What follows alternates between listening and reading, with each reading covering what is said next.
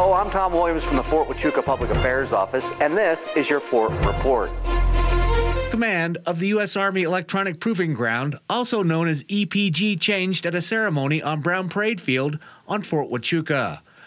The outgoing commander of the Proving Ground, Colonel Ronald Jacobs, passed the unit colors to Major General Genaro Dellarocco, commanding general of the U.S. Army Test and Evaluation Command, who then passed the colors to Colonel Raymond Compton, the incoming commander. General Della Rocca spoke about Colonel Jacobs' time in command. During Colonel Jacobs' watch, we saw the advent of the network integration evaluations out at Fort Bliss, White Sands. EPG stepped up to the plate. They teamed with the Operational Test Command, and they made things happen. EPG, Electronic Proving Ground, and IEWTD, Intelligence Electronic Warfare Test Directorate, combined efforts made things happen, and they executed not only operational tests, but supported a new type of warfare, network warfare, he then welcomed Colonel Compton to his new assignment. I'll tell you what, he brings an, an enormous amount of experience to Fort Huachuca. He's not a, uh, a stranger to Fort Huachuca, uh, and he'll, he'll embrace his place uh, like nobody's business um, and uh, take it to the next level where, where Ron has left off at. The outgoing commander made remarks. Well, about three years ago, uh, myself, Mark D'Amato, known as the Dynamic Duo, came on the scene.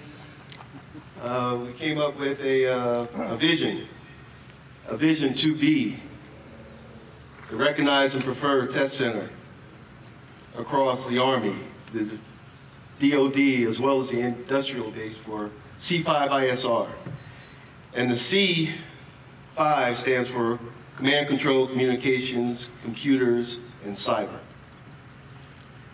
And we expected to be the preferred and recognized test center in, in about FY13, which we are now. And I must say, we did accomplish that mission.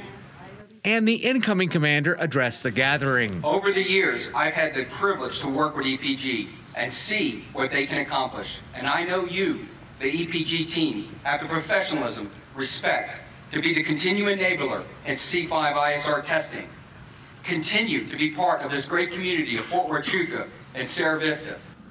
B Troop, 4th U.S. Cavalry Memorial, wrapped up the ceremony with a pistol charge across the parade field.